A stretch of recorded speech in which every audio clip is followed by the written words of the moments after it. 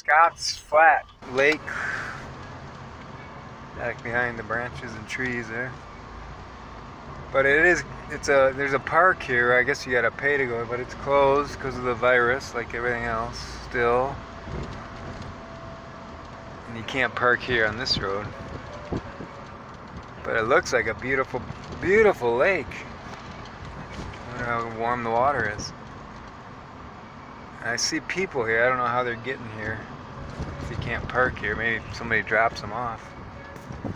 Apparently you can come down to the beach as long as you don't park here.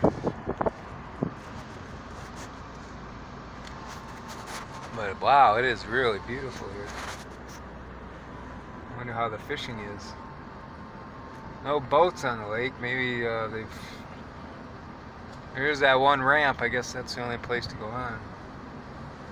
Oh, there's some people swimming there. It can't be that cold then. They're staying in there. They parked here. Skinny dipping. Caught them. This is nice. Wow.